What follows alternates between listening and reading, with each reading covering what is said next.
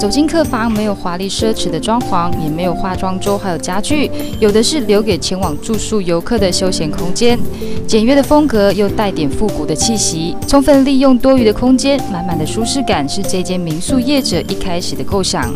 基本上，我们觉得客人来，第一个我们要觉得，要让他觉得这个房间是很明亮的，嗯，嗨，所以进来你不会觉得有那个压迫感。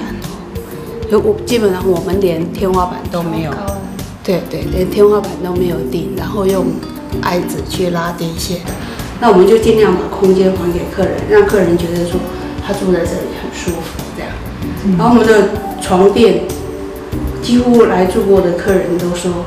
你们的床真的好舒服。待在房间里，宽敞的空间，隔着大大的落地窗，走到阳台，仿佛置身在咖啡雅座，可以尽情的放松心情，疏解压力。虽然民宿坐落在市中心，却能够欣赏到田野风光，而夏季还可以看到绿油油的稻田。到了收割的季节，还可以看到一整片油菜花田，让人心旷神怡。可是都看出去都有绿色稻田，很舒服哎。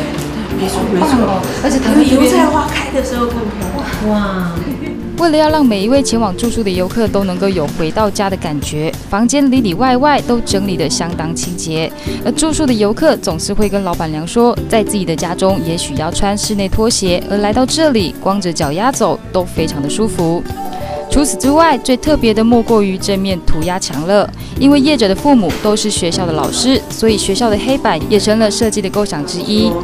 因为爸爸妈妈都是老师，我看到里面有黑板跟白。对对对，他说爸妈都是老师，所以他想要弄这一面涂鸦墙，做一个呃纪念吧，还是什么一个发看到整面墙上满满的留言和可爱的涂鸦，透露出每个住宿的游客在这里已经有了一个忘不了最美的回忆。而当然，这也是业者要与大家分享这个家的经营理念，也是他们最骄傲的收获。东南新闻郑慧茹、林婉珍，台东市报道。